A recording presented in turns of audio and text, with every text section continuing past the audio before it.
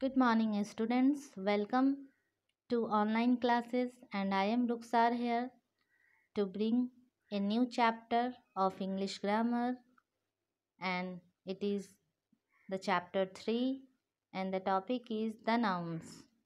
Sangya. In previous classes, I have taught you already what is noun and how many kinds of noun. पिछले class में ही मैंने आपको बताया था कि संज्ञा क्या है और संज्ञा कितने प्रकार के होते हैं। Yet we have to start from the beginning फिर भी हमें शुरुआत से ही शुरू करनी होगी। Let's start with the definition of noun here a noun is a naming word that is use for living beings places things ideas and feelings संज्ञा किसी नाम वाले शब्द को कहते हैं, जिसमें हम किसी सजीवों के बारे में, स्थानों के बारे में, वस्तुओं के बारे में या अपने विचार और अनुभव के बारे में व्यक्त करते हैं। उसे हम संज्ञा कहते हैं। In other way you can say a noun is the names of person places और थिंग्स एग्ज़ाम्पल ले लेते हैं। Priya is a beautiful girl. In this sentence, we are talking about Priya and Priya is a name of girl. प्रिया एक लड़की का नाम है।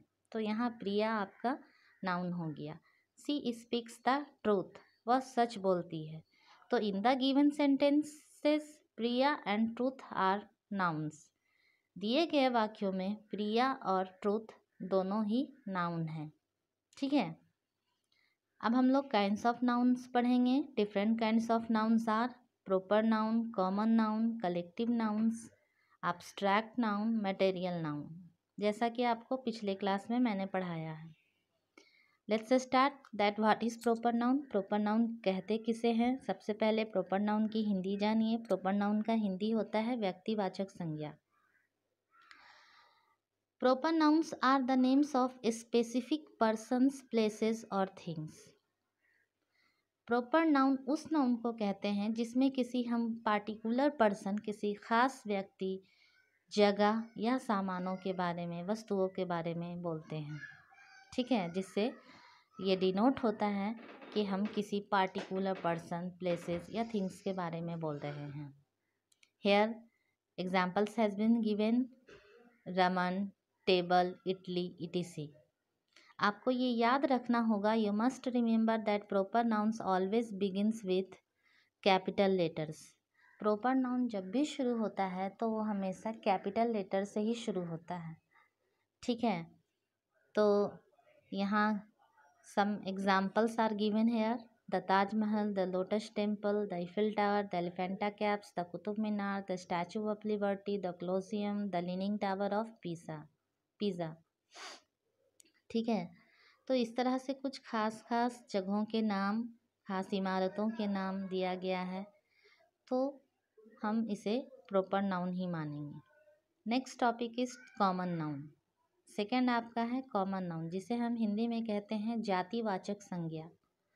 Nouns that are use to name the person places और objects of the same common noun same kind of common same kind sorry places और object of same kind are common nouns व्यक्तिवाचक संज्ञा उस तरह की संज्ञाएँ कहलाती हैं, जो एक ही प्रकार के समुदाय में आती हैं।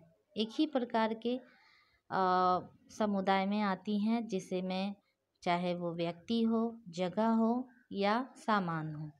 एग्जाम्पल्स ले सकते हैं boy girl book city chair etc यहाँ पे हम लोगों ने बॉय में ऊपर प्रॉपर नाउन में एक नाम लिया था, रमन। तो जब बॉय होगा तो वो कॉमन होगा कि कोई भी लड़का हो सकता है। गर्ल कोई भी लड़की हो सकती है बुक कोई भी बुक हो सकती है। लेकिन बुक में अगर मैंने मांग लिया है आपसे फिज़िक्स बुक तो फिज़िक्स हमारा प्रॉपर हो जाएगा और बुक हमारा कॉमन हो जाएगा। ठीक है? नेक्स्ट काइंड्स है हमारा collective nouns collective nouns means होता है समूहवाचक संज्ञा। Here we will express about a collection यहाँ हम एक समूह की तो चर्चा करेंगे। When a noun indicates a number of numbers और कलेक्शन ऑफ़ पर्सनस एनिमल्स और थिंग्स कलेक्टिव नाउन समूहवाचक में जब हम इस संज्ञा में किसी व्यक्ति जानवर या वस्तुओं के समूह की चर्चा करेंगे तो it is known as collective noun तो इसे हम समूहवाचक कहेंगे। एग्ज़ाम्पल दिया हुआ है regiment crowd bunch mob gang regiment means होता है पल्टन। जैसे हम रेजिमेंट ऑफ़ सोल्जर्स भी कह सकते हैं। क्राउड मीन्स होता है भीड़। ए क्राउड ऑफ़ पीपल भी कह सकते हैं। बंच मीन्स होता है गुच्चा मॉब मीन्स भी होता है भीड़। गैंग मीन्स होता है गिरोह। इन सब में बहुत सारे लोगों की संख्या होती है या जानवरों की संख्या होती है या फिर वस्तुओं की संख्या होती है, जहाँ एक समूह बनता है। नीचे दिए गए एग्जाम्पल्स को आप लोग रीड कर लेंगे।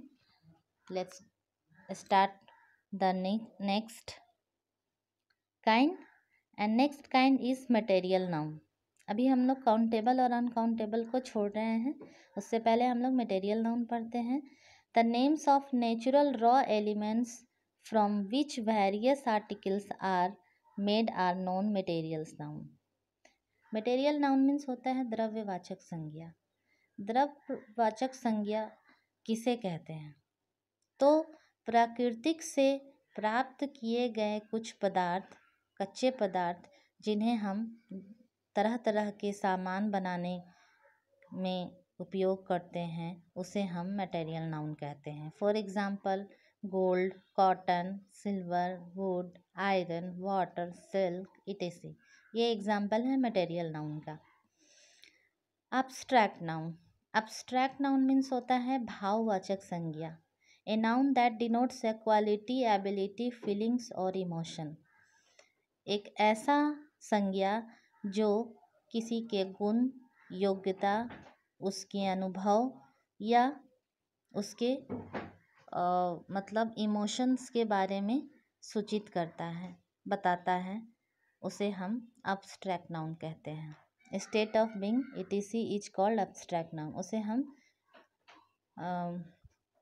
भाववाचक संज्ञा कहते हैं। फॉर एग्ज़ाम्पल आपको दिया हुआ है zoology botany photography dancing swing painting looking cooking swimming, running, jumping सी ये सारे आपके अब्स्ट्रैक्ट नाउन हैं। अब्स्ट्रैक्ट नाउन में हम और भी एग्जांपल ले सकते हैं। जैसे हो गया हमारा चाइल्डहुड एनिमिटी ठीक है स्वीट सी आ जाइए काउंटेबल और अनकाउंटेबल के नाउन्स काउंटेबल नाउन उसे कहते हैं जिसमें हम चीज़ों को काउंट कर सकते हैं। They are the things we count we can count such as hen boy table ये सब काउंटेबल है जिसे हम गिन सकते हैं। उसे हम काउंटेबल नाउन कहेंगे। और things which can not be counted चीज़ें जो गिनी नहीं जा सकती हैं in this manner are known as uncountable noun तो इस तरह से उन्हें हम अनकाउंटेबल कहेंगे ठीक है? एग्ज़ाम्पल में ले सकते हैं अनकाउंटेबल में बहुत सारे आ, हमारे अब्स्ट्रैक्ट नाउन वाले भी आ जाते हैं ठीक है? जैसे फीलिंग्स हो गया चाइल्डहुड जैसे टेस्टी सार स्वीट ये सब हम काउंट नहीं कर सकते हैं। इमोशंस को काउंट नहीं कर सकते हैं तो वो अनकाउंटेबल में आएँगे, ठीक है? That's enough for this chapter thanks for watching the video so इसके बाद मैं आपको चैप्टर से रिलेटेड कुछ टास्क दूँगी, ठीक है? आपको करने होंगे, इस तरह से। आपका लेट्स वर्क यहाँ से स्टार्ट होता है। I will send you into type, part type formats.